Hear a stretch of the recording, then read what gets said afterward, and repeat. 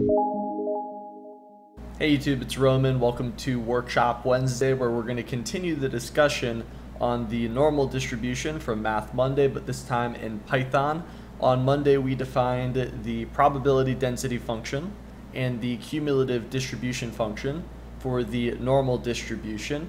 We also talked a little bit about the application and theory of the normal distribution and what it lets us do. But today we're going to be looking at all of those things in Python and we're going to see how we can actually sample from a normal distribution and draw the probability density function as well as the cumulative distribution function. Alrighty, for starters we're going to import NumPy as np and that's going to let us actually draw from the standard normal distribution and we're also going to import Seaborn as SNS. And Seaborn is a visualization library very similar to Matplotlib, but what it's going to do is it's going to give us a nice plot, a good continuous representation of the discretization of the normal distribution. We'll talk more about this in a minute. Now, how do we draw a sample from the normal distribution? Well, it's actually very easy using NumPy. All I have to do is say np.random.randn and then if I run this cell, I'm going to get a draw from a special type of normal distribution, the standard normal distribution. And all a standard normal distribution is, is a normal distribution with a mean of zero and a standard deviation and variance of one. So we see here, if we just keep running this cell, we're going to get different random numbers, and that's because we are just sampling from this normal distribution, this standard normal distribution. If you recall from the previous video on Math Monday, we also said that we have something called the empirical rule, where if we deviate one standard deviation in either direction, 68% of the data is going to fall within that range. Well, we can see this Monte Carlo simulation style using NumPy. So what I'm going to do is I'm going to say samples is equal to an empty list. I'm going to say for i in range n and I'm just going to say n is equal to 10,000 samples. We are going to sample from this normal distribution, this standard normal distribution. And I'm going to append each sample. I'm going to say samples.append. I'm going to append each samples to that samples list. If we go ahead and run this cell and then print the samples list, you'll see we just have a collection of draws from the standard normal distribution. And as I mentioned earlier, by the empirical rule, if we were to take the interval of mu minus sigma, mu plus sigma, we know that approximately 68% of the data is going to fall within this range. So in the case of a standard normal distribution, we have x is distributed normally with a mean 0 and a standard deviation and variance of 1. Thus, if we were to sample a whole bunch of samples as we did, we are positive that 68% of the data is going to fall within mu minus sigma, mu plus sigma, or, in other words, this is simply the interval of negative 1 to 1. And we can test this with this samples list that we just generated. One way of doing this is to just say count is equal to 0. So this is going to keep track of everything that falls within negative 1 to 1. And then we'll say for sample in samples. So this is going to iterate through all of the samples that we generated in this list we can say if the sample is greater than or equal to negative 1 and the sample is less than or equal to 1, meaning it falls within this range of mu minus sigma, mu plus sigma, we are going to increment the count by 1. So if we run this, and before even printing the count, we know that we are going to get something around 6,800 and that's because we have 10,000 samples and statistically we know that 68% of the data is going to fall between plus or minus one standard deviation away from the mean by the normal distribution. So if we print the count, you'll see that we get 6,860, which is pretty darn close to 68%. Okay, so we have a good idea of where the data falls in a standard normal or any normal distribution for that matter. Now let's see if we can draw that bell curve using the probability density function and visualizing a continuous representation using Seaborn. Here we have our normal probability density function, and if we just substitute in the mean and variance for the standard normal distribution, you'll notice that we get rid of the sigma because that just becomes 1, and we also get rid of the mu because that is just 0, and we are left with a relatively simpler representation of the density function for the normal distribution. So that's what we're going to do here. We're going to define this function in terms of a standard normal density function. So I'm going to say def f of x, as we know our mu and sigma values. And then I'm going to compute each term and then compute the product of the terms. So I'm going to say 1 over sigma root 2 pi is going to be d1 and I'm going to say 1 divided by, remember sigma is 1, so I just need to do np dot square root 2 times np dot pi. So that's going to be d1. d2 is going to be this exponential here, e to the negative 1 half x squared. So I'm going to say np dot x, I'm going to do negative 0.5 times x squared, and then I'm just going to compute the product of d1 times d2, and that is our normal probability density function where we assume the mu is 0 and the sigma is 1.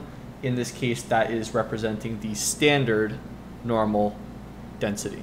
We can use this probability density function to draw the bell curve very simply by specifying a domain and I'm going to say np linspace from negative 4 to positive 4.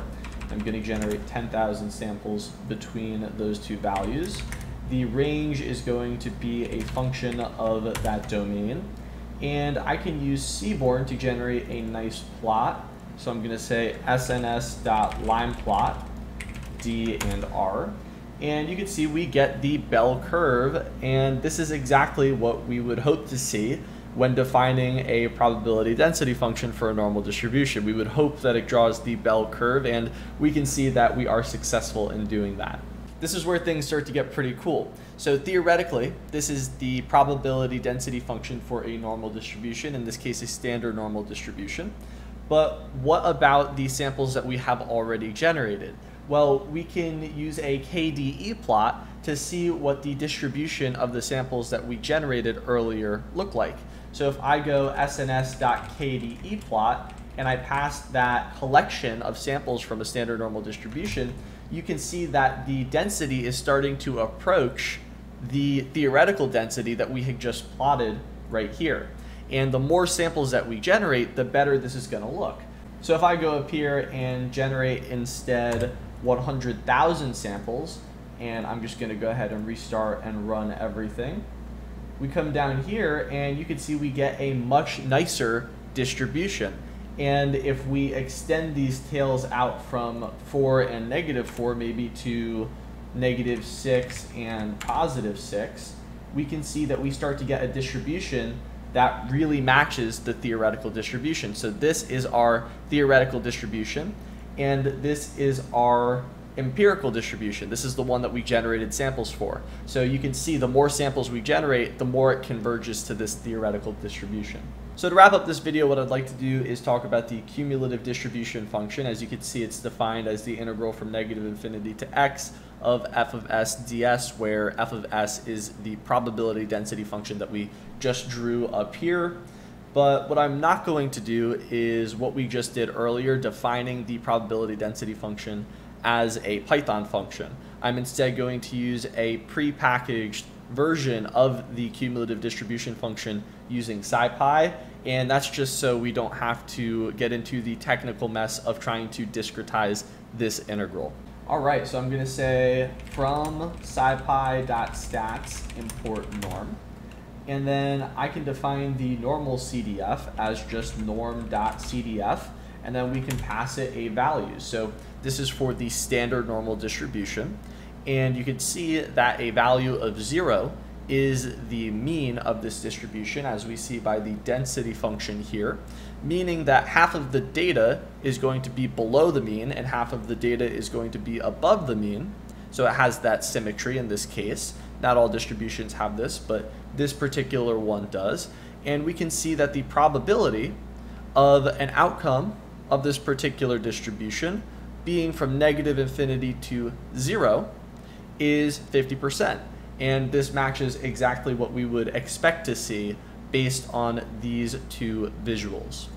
Moreover, we can just draw this distribution. So instead of doing norm CDF of zero, I'm just going to do norm CDF of the original domain that we defined. And this is going to give us a range of probabilities for the interval with respect to negative infinity and that input from the domain. So looking at this cumulative distribution function, you can see that from our original domain, we specified evenly spaced points between negative 6 and 6. And what we're doing here effectively with this norm.cdf is we are computing this integral from negative infinity to each point in that domain and generating this series of probabilities. So in terms of a cumulative distribution function, we are going to start at essentially zero and work our way all the way up to one.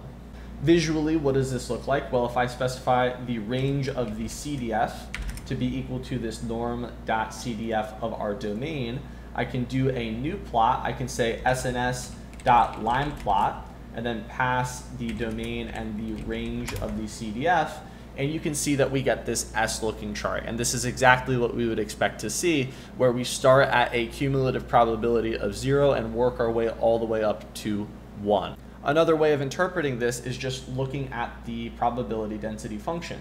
And if we start all the way on the left and then sort of take the area under that curve, you'll notice that as we keep going to the right, we get more and more area.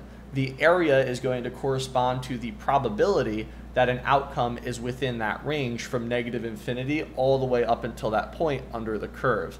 And as we get further and further along and start to approach positive infinity from negative infinity, then we have the entire probability space. So that is why you see the CDF start to asymptotically approach 1.